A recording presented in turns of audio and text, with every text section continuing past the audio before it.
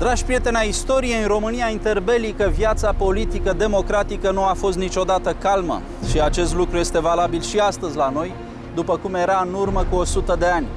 În episodul de astăzi vom vorbi despre Constituția din anul 1923. Astăzi noi spunem despre ea că a fost poate cea mai bună lege fundamentală din istoria țării.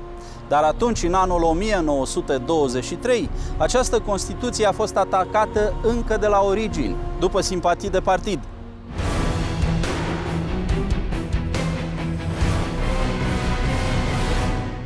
Constituția din martie 1923 mai este numită și Constituția României Mari.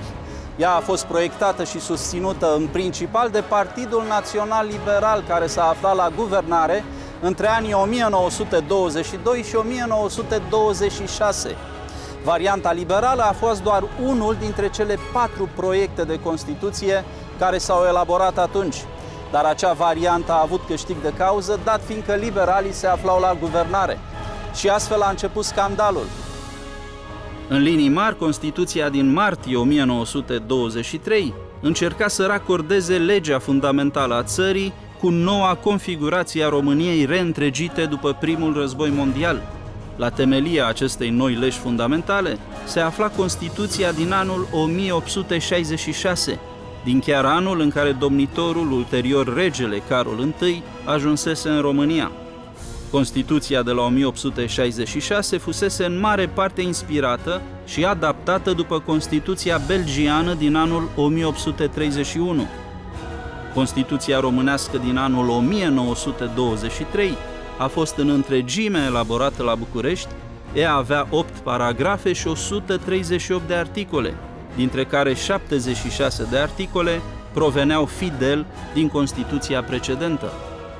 După modelul său belgian, Constituția României din anul 1866 a fost una dintre cele mai progresiste legi fundamentale din Europa a celor vremuri.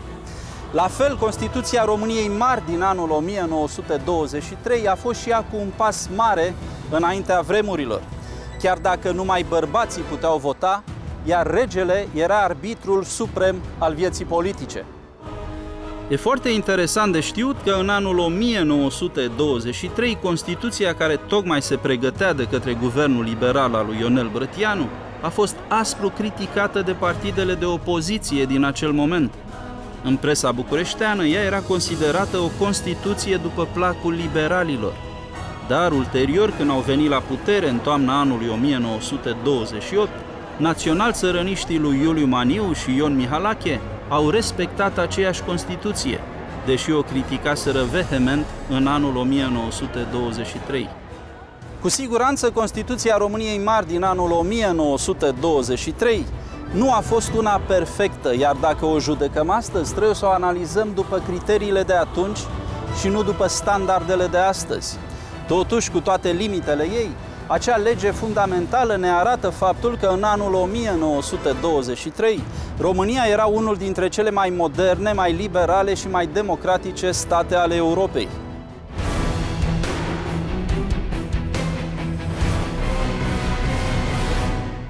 Constituția regelui Ferdinand din anul 1923 nu a rezistat decât 15 ani.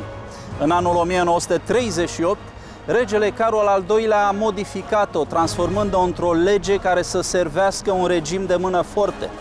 Iar peste alți 10 ani, în 1948, comuniștii au impus propria lor Constituție cu mult mai dezastroasă. Iar morala episodului nostru este că o țară care schimbă prea des Constituțiile este o țară cu ceva probleme, politice sau geopolitice. Iar până la întâlnirea noastră viitoare, nu uitați că istoria rămâne cea mai frumoasă poveste, iar unirea se construiește zi de zi.